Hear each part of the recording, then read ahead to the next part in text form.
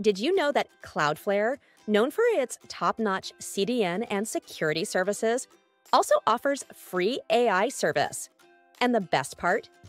You can seamlessly integrate this service with RADAAR's AI Assistant. Let me show you how.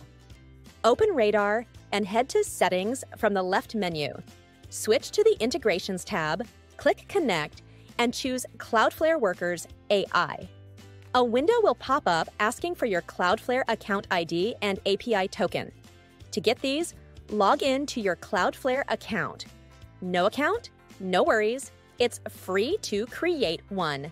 Scroll down the left menu and go to Account API Tokens under Manage Account.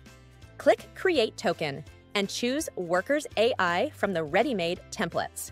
Simply hit Continue, no need to change anything, and then create token again. Your API token is now ready. Copy your account ID and API token, then paste them into the respective fields in the RADAAR dashboard. Click Add, and voila! Your Cloudflare account is now linked to RADAAR, unlocking AI powered content creation at your fingertips. That's it. Super easy, right? So, what are you waiting for? Create a free Cloudflare account now, connect it to RADAAR, and start generating amazing content with the AI Assistant.